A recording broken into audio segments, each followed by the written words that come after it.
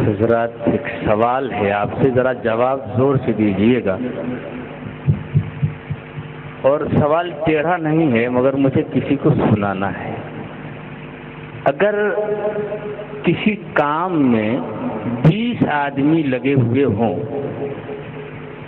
और मालिक बीस हज़ार रुपया निकाल करके दे कि ये आपस में आप लोग तकसीम कर लें तो बताइए, कैसे तकसीम होगी जरा ज़ोर से कहिएगा, हिसाब टेढ़ा नहीं है।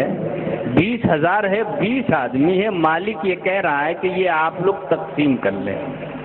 उसकी तकसीम कैसे होगी? ज़ोर से कह दो ना जरा।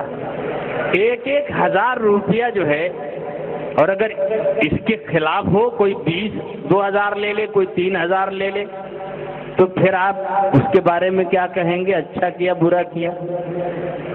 अच्छा साहब, डेढ़ बज रहा है और हमारे ये मेहमान कारी यहाँ बैठे हुए। ये वारिसीन अम्बिया भी हैं, और कुरान का जो कारी होता है, वो अल्लाह के घर के लोगों में उसका शुमार होता है। तो हमारे पास अब बीस हज़ार रुपया तो है नहीं, जिसे हम कहें बांट लीजिए। वक्त है, हम इनसे कहेंगे, जरा बांट लीजिएगा सही ढंग से, ताकि ये लोग देख लें कि ये वारिसीन अम्बिया भी हैं और अल्लाह के घर के लोग भी हैं। ये तकसीम वक्त की कैसे करते इंसाफ के साथ या ना इंसाफी के साथ? इस गुजारिश के साथ। मैं अपने मेहमान कारियों से ये गुजारिश कर रहा हूँ कि अब, क्योंकि रात के डेढ़ बज रहे हैं, आपको सिर्फ़ दस मिनट का वक्त दिया जा रहा है। और घड़ी देख लीजिएगा, मुहासिब और मुमतहिन ये हमारे तलबा अज़ीज़ और हमारे ये बुजुर्गान दीन हैं। आपका हिसाब अभी हाथ के हाथ होना है कि आपने इंसाफ से काम किया है या नहीं। इसलिए घड़ी देख लीजिए, दस मिनट का वक्त आपको दिया जा रहा है। मैं गुजारिश कर रहा हूँ, जनाब कारी साले अहमद साहब, उस्ताद शोबे तजवीर, बासकंडी, आसाम से।